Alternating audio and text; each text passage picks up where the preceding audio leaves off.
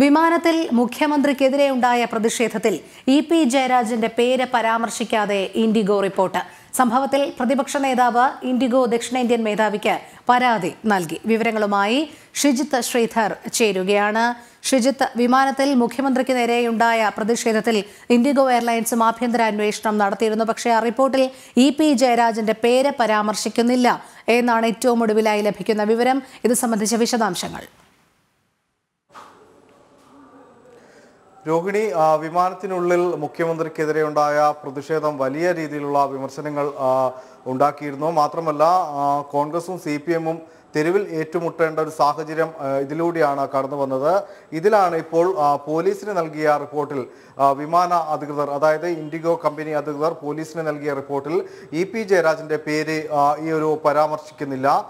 ഈ ഒരു റിപ്പോർട്ടിൽ എവിടെയും ഇ പിയുടെ പേര് എടുത്തു പറയുന്നില്ല എന്ന് തന്നെയാണ് ഏറ്റവും പ്രസക്തമായ കാര്യം. മാത്രമല്ല ഈ കാര്യത്തിൽ ഇപ്പോൾ പ്രതിപക്ഷ നേതാവ് വി ഡി സതീശൻ ഇപ്പോൾ ഇൻഡിക്കോ മുതിർന്ന മേധാവികൾക്ക് അധികൃതർക്ക് ഇപ്പോൾ പരാതി നൽകിയിട്ടുണ്ട്.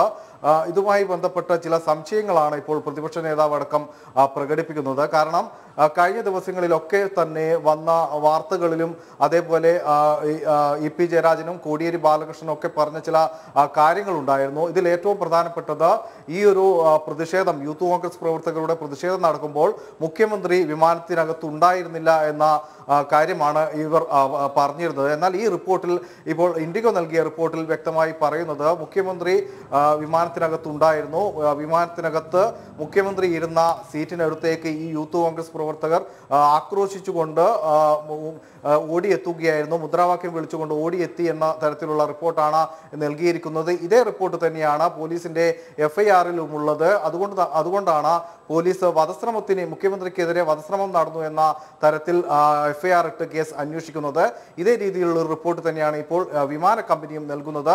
അതുകൊണ്ടാണ് ഇപ്പോൾ പ്രതിപക്ഷ നേതാവ് ഈ കാര്യത്തിൽ വലിയൊരു സംശയം പ്രകടിപ്പിച്ചുകൊണ്ട് ഇപ്പോൾ ഇൻഡിഗോ കമ്പനി അധികൃതർക്ക് പരാതി നൽകിയിരിക്കുന്നത്. ഇതിൽ കൃത്യമായും പറയുന്നത് രണ്ട് യൂത്ത് കോൺഗ്രസ് പ്രവർത്തകർ മുഖ്യമന്ത്രി ഇരുന്ന സീറ്റിനടുത്തേക്ക് ഓടിയെത്തുകയും ഇതിൽ മുഖ്യമന്ത്രിക്കൊപ്പം ഉണ്ടായിരുന്ന യാത്രക്കാരിൽ ഒരാൾ ഇത് കൃത്യമായി ഇ പി ജയരാജനെയാണ് ഉദ്ദേശിക്കുന്നതെങ്കിലും ഇ പി ജയരാജന്റെ പേര് ഇവിടെ പരാമർശിക്കുന്നില്ല.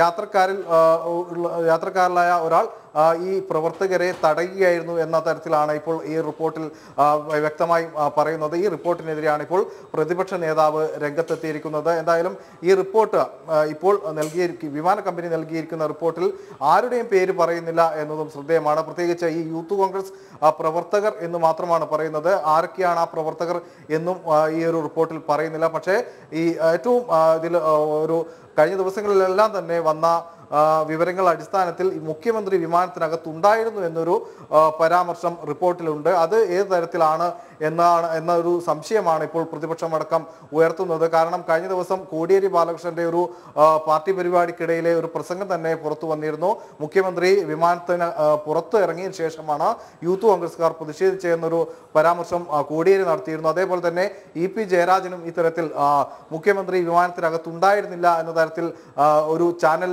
നൽകിയ ശബ്ദരേഖയിൽ പറയുന്നുണ്ട്.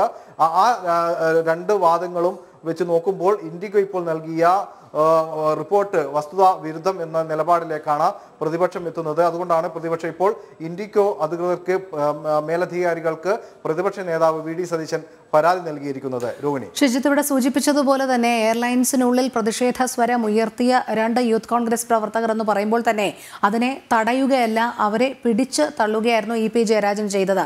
സ്വാഭാവികമായും ആ ഒരു കാര്യമാണ് റിപ്പോർട്ടിലും സൂചിപ്പിക്കേണ്ടിയിരുന്നത്. മറ്റൊരു വ്യക്തി പിടിച്ചു തള്ളുന്നു എന്നുള്ള രീതിയിലാണ്. കാരണം നേരത്തെ ഉയർന്ന വിമർശനം എന്ന് പറയുന്നത് അങ്ങനെ ഏതെങ്കിലും രീതിയിൽ പ്രതിഷേധ സ്വരം ഒരാൾ ഉയർത്തുകയോ അടുക്കിലേക്ക് വരികയോ ചെയ്താൽ അതിന് ക്യാബിൻ ക്രൂയെ അറിയിക്കുക എന്നുള്ളതാണ് ഏറ്റവും ആദ്യമായി ചെയ്യേണ്ടുന്ന പ്രവൃത്തി എന്നുള്ളതാണ്.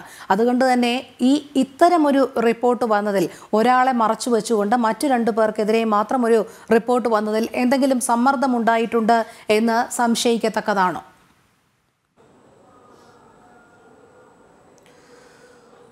രോഹിണി പ്രതിപക്ഷ നേതാവ് ഇപ്പോൾ പറയുന്നത് അനുസരിച്ചാണെങ്കിൽ കണ്ണൂർ സ്വദേശിയായ ഒരു വ്യക്തിയാണ് ഇവിടുത്തെ ഇൻഡിഗോയുടെ മാനേജർ. നമുക്കറിയാം കണ്ണൂർ സ്വദേശിയായതുകൊണ്ട് മാത്രം അത്തരത്തിലുള്ള സമ്മർദ്ദം സി പി എമ്മിന്റെ ഭാഗത്തു നിന്ന് സമ്മർദ്ദം ഉണ്ടാവാം എന്ന തരത്തിൽ ചില സംശയങ്ങളാണ് പ്രതിപക്ഷ നേതാവ് പ്രകടിപ്പിക്കുന്നത്. അതുകൊണ്ട് തന്നെ പാർട്ടിയുടെ സി പി എമ്മിന്റെ ഒരു ഒരു സമ്മർദ്ദം ഈ മാനേജർക്ക് നേരെ ഉണ്ടാവാനും അത്തരത്തിലുള്ള ഒരു റിപ്പോർട്ട് നൽകാൻ സമ്മർദ്ദം ഉണ്ടായി എന്ന തരത്തിലാണ് പ്രതിപക്ഷ നേതാവ് വി ഡി സതീശൻ ഇപ്പോൾ പ്രതികരിക്കുന്നത്. അല്ലെങ്കിൽ അത്തരത്തിലുള്ള പ്രതികരണമാണ് ഇപ്പോൾ പുറത്തു വന്നുകൊണ്ടിരിക്കുന്നത്. എന്തായാലും ഈ റിപ്പോർട്ട് ഒരു ഒരു ഒറ്റ നോട്ടത്തിൽ നോ- നമുക്ക് നോക്കിക്കാണുകയാണെങ്കിൽ ഇത് ഏകപക്ഷീയമായി ഇ പി ജയരാജനെ അല്ലെങ്കിൽ സർക്കാർ പറയുന്ന വാദങ്ങളൊക്കെ അംഗീകരിച്ചുകൊണ്ട് യൂത്ത് കോൺഗ്രസ് പ്രവർത്തകർ നടത്തി അതായത് വധശ്രമം നടത്തി എന്ന തരത്തിലേക്ക് തന്നെ പോലീസും അതേപോലെ വിമാന കമ്പനിയും ഒരേ തരത്തിലുള്ള റിപ്പോർട്ട് നൽകുന്നു എന്ന് തന്നെയാണ് നമുക്ക് മനസ്സിലാക്കാൻ സാധിക്കുന്നത്. മറ്റൊന്ന് ഇത് പ്രാഥമികമായ ഒരു റിപ്പോർട്ട് മാത്രമാണ്.